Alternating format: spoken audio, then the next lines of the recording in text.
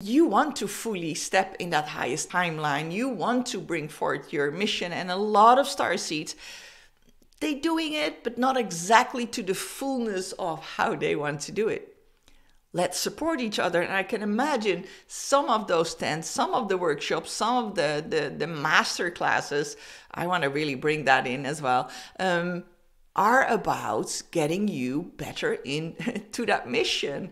You needing to be of light, you needing to live in a high frequency so you can bring that forth. But you also need to feel, I can do that. You know, I, I have that in me. You want to connect to that inner wisdom and inner power that you have. You, as a star seed, are such a powerful being if you collect or remember or take in and harvest that and remember that and fully take in all your galactic skills, let's